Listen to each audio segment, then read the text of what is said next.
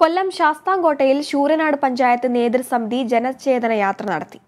Kovoor Kunjumon M L A ഉദ്ഘാടനം നിർവഹിച്ചു.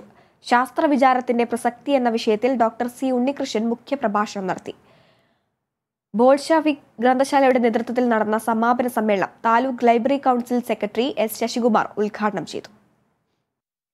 കാസർഗോഡ് പിലിക്കോട് തീക്കുഴിച്ചാൽ ദേശീയപാതയിൽ അടിപ്പാത അനുവദിക്കണമെന്ന ആവശ്യം ഉന്നയിച്ച് ആറാട്ടുവഴി സംരക്ഷണ ജനകീയ സമിതി സംഘടിപ്പിച്ചു. ജനകീയ കൂട്ടായ്മ സംഘടിപ്പിച്ചു. M Rajagopalan M L A ജനകീയ കൂട്ടായ്മയുടെ ഉദ്ഘാടനം നിർവഹിച്ചു. വിലിക്കോട് ഗവൺമെന്റ് ഹയർ സെക്കൻഡറി സ്കൂളിലെ വിദ്യാർത്ഥികളുടെ പോക്കുവരവ് തടസ്സപ്പെട്ട സാഹചര്യത്തിലാണ് ജനകീയ കൂട്ടായ്മ സംഘടിപ്പിച്ചത്.